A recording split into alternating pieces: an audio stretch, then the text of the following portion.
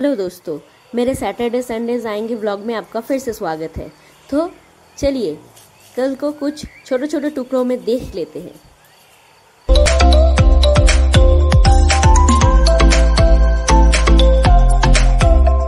कल थी फिफ्टींथ अप्रैल यानी कि बंगाली हैप्पी न्यू ईयर तो हम लोग इसको बंगाली में बोलते हैं शुभ नववर्ष।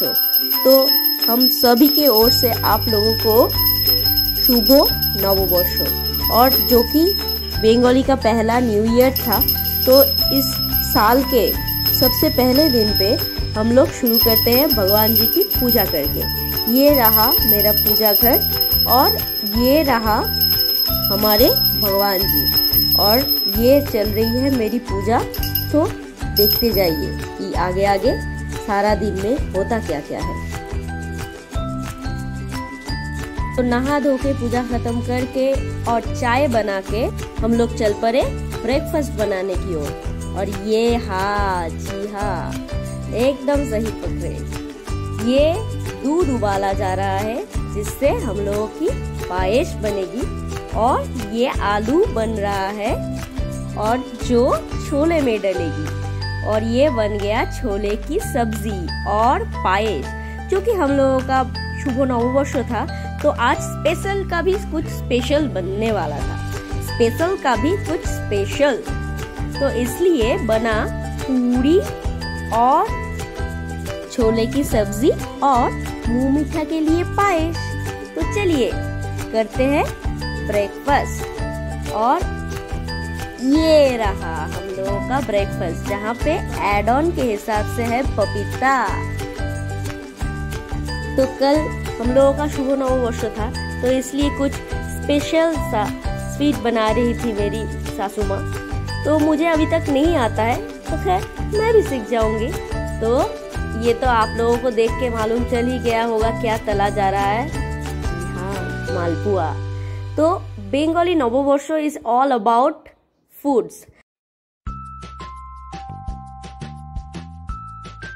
हम लोगों की जो नेबर है वो है तमिल। तो फोर्टीन अप्रैल था तमिल न्यू ईयर तो उन लोगों की तरफ़ से भी हम लोगों को बहुत कुछ मिला था। तो इसलिए इन रिटर्न हम लोग भी बोलने जा रहे हैं, शुभ नववर्ष। तो सब लोगों को शुभ नववर्ष कह के हम लोग अभी चल पड़े दोपहर की खाना बनाने की ओर। तो जी हाँ सही पकड़े मटन। तो आपको तो पता ही होगा कि it's all about food and puja. तो पूजा तो हम लोग सुबह करके ही शुरू किए हैं आज का दिन।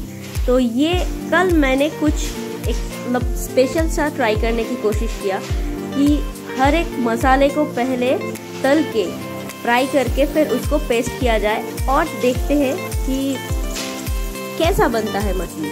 तो ये आप लोगों को जो मैं दिखा रही थी वो तला हुआ मसाले का पेस्ट ही था और उसके बाद ये जो आलू फ्राई हो रहा है, इसको लेके अभी मटन बनेगा। तो देखिए, ओहो, क्या कलर है। तो ये देखिए, हम लोगों का लंच बन के रेडी, और ये परोसा जा रहा है लंच। तो आज लंच में क्या क्या है? सिंपल है, बट इट्स स्पेशल। तो भात, दाल, रोटी, फल, मटन और चाटनी।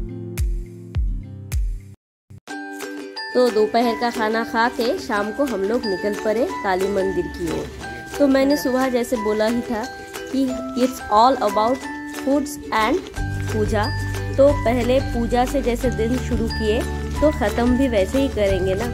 तो चलिए चलते हैं हम लोगों के साथ बेंगलुरु काली मंदिर। तो ये रहा हम लोगों का गाड़ी। अभी चलिए। ओहो। क्या मार्केटिंग स्ट्रेटेजी है? देखिए ज़रा। Customer is a king king never bargains तो मैं भी सोच रही हूँ, मेरे चैनल के लिए कुछ ऐसा ही अच्छा सा दमदार टैगलाइन रख दूँ। तो जाते वक्त बहुत जाम हुआ, बहुत ही ट्रैफ़िक मिला हम लोगों को रास्ते में। तो रास्ते में ट्रैफ़िक फेस करते करते, गाना सुनते सुनते हम लोग पहुँचे काली मंदिर तो ये है बेंगलुरु काली ट्रस्ट तो कालीबाड़ी में पहुँच के वहाँ पे देखा कि भोग हो रहा है। तो चलिए, भोग का आनंद उठाते हैं और पूजा भी देखते हैं।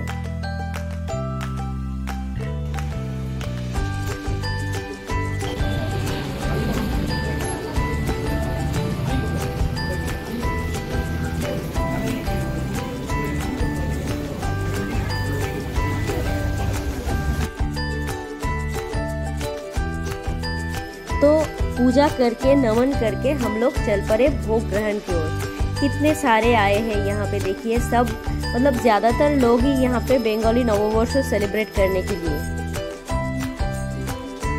तो चलिए, लेते हैं भगवान का भोग। तो कितना अच्छा लगता है ना, जब आप मंदिर पे जाओ और वहाँ पे ऐसे ही अचानक से भोग मिल जाए। तो खैर, देखिए यहाँ पे क्या क्या भोग में मिल रहा है। जैसे कि आप देख पा रहे हो फ्राइड राइस आलू गोभी की सब्ज़ी, और उसके साथ दाल, उसके साथ एक था चटनी और एक था पायस, और उसके साथ हम लोगों के बंगाली नववर्ष सेलिब्रेट पूरा करने के लिए था रसगुल्ला, हम लोगों का रसगुल्ला। तो चलिए, घर चलते हैं। तो भगवान का नाम लेके जो दिन शुरू किए थे हम लोगों ने तो आज वो दिन ख़त्म होने को आया है।